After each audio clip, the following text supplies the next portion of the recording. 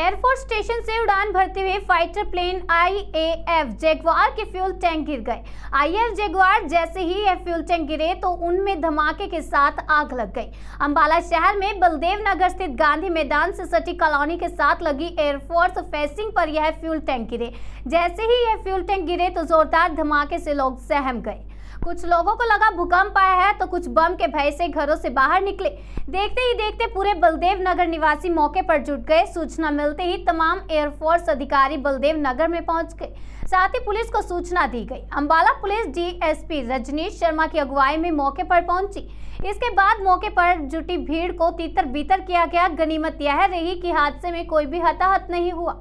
वीरवार सुबह करीब सात बजकर चालीस मिनट पर एयरफोर्स स्टेशन से उड़ान भरते हुए आईएएफ जेगुआर के दो फ्यूल टैंक गिर गए। लेकिन दोनों फ्यूल टैंक गिरने के बावजूद उसके पायलट जहाज़ को सुरक्षित उड़ा ले गए। इस तरह से कोई हताहत नहीं हुआ।